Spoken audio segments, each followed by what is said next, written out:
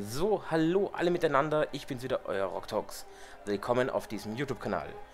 Ich möchte dieses Video jetzt als kleines Ankündigungsvideo machen und zwar wird am Sonntag, den 3. März um 20.30 Uhr auf meinem Livestream-Server ein Interview mit dem Suicide Buggy Squad sein.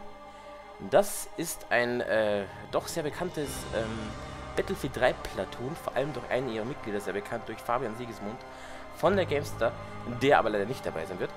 Dafür alle anderen, es werden also so drei bis vier Member bei mir im Livestream sitzen, denen werde ich Fragen stellen. Diese Fragen könnt ihr aussuchen, einfach hier unter dieses Video posten. Dieses Video wird auf meinem Kanal, aber auch von dem von Suicide Buggy hochgeladen. Heißt, schreibt einfach drunter, was ihr Lust und Laune habt, was ihr wissen wollt.